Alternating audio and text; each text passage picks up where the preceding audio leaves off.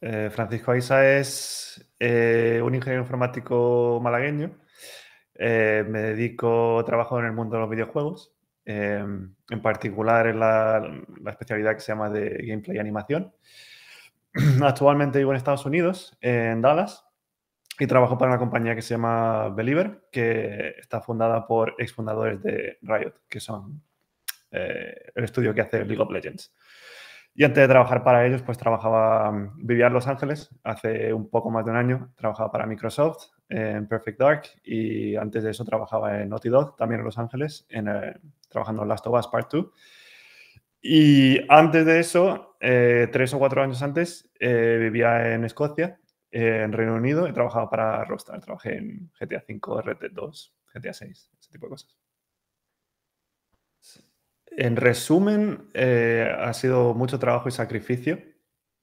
Como empecé fue estudiando la carrera, eh, era por aquel entonces se llamaba Ingeniería Informática Superior en la Universidad de Granada.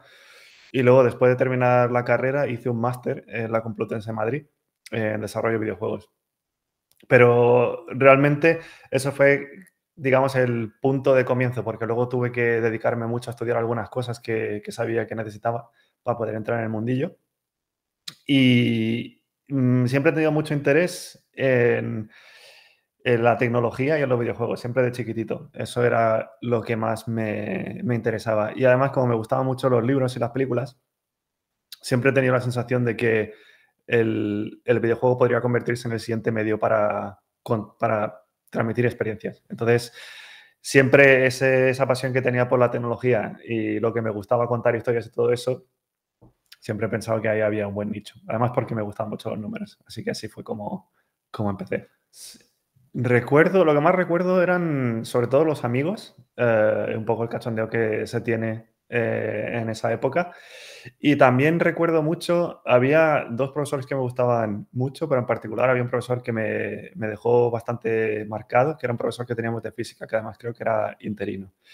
Y me acuerdo perfectamente su clase eh, eran distintos profesores. Él daba por la mañana y había otro que daba por la tarde. Y la gente de por la tarde venía por la mañana cuando ni aún había sitio y se quedaban de pie en la parte de atrás de la clase de lo bueno que era. Y además tuve la suerte de, como al principio se me atragantaba un poco, eh, me ayudó mucho en tutorías y todo. Y me dejó muy marcado porque luego una cosa que hice fue dar clases privadas yo mismo a gente de, la, de la Universidad de Matemáticas y fue una cosa que me marcó bastante, que, intenté transmitir también a los alumnos que tenías, que es, una cosa, la verdad como estudiante es una cosa que se disfruta mucho, supongo que como profesor también, cuando, cuando tienes a alguien que se interesa de, ambos lados, ¿no? Entonces fue una cosa que me gustó mucho. Y luego tenía la, mi, asignatura, mi asignatura favorita era programación. Eh, básicamente porque la cantidad de creatividad que puedes tener en cómo haces lo que quieres hacer y siempre hay algún tipo de reto que superar.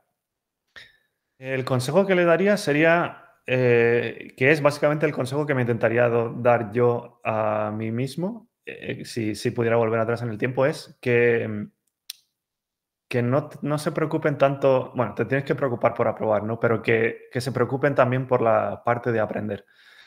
Porque luego hay muchas cosas que, echas de menos, asignaturas que no vas a usar eh, o materias que no le das tanto uso, pero que te gustaría saber un poco más. Y a veces con la, la vorágine esta que tienes de intentar aprobar y todo que se te suma, no te centras tanto en el, intentar entender de dónde viene todo, sino el, el, cómo superarla. Y luego la otra cosa también que diría es que no se preocupen eh, si no están a la cabeza de la clase. Yo nunca fui, digamos, eh, nunca estuve a la cabeza de la clase. Sí en el máster de desarrollo, pero ya en esa época era porque sabía bien lo que quería y que realmente no es, no es algo de lo que se tengan que avergonzar o sentirse mal consigo mismos, porque luego a la hora de la verdad eh, había mucha gente en mi clase que era muy buena, aprendía muy rápido y bueno, pues tienen trabajos normales y gente que era muy normalita, que la ha visto toda por el mundo repartida y haciendo unos trabajos increíbles. Así que al final es cuestión de trabajo duro y ambición, no, que no se, no se preocupen mucho si no están arriba. Pues me parece estupendo, sobre todo porque siempre tengo la sensación de que necesitamos tener más iniciativas para conectarnos entre alumnos, pero también para tener mejores relaciones de cara al público. Porque mm, si ves en, los países en los que he vivido, siempre tienen, siempre saben cómo, siempre saben cómo hacer publicidad sobre sí mismo y cómo darse a conocer.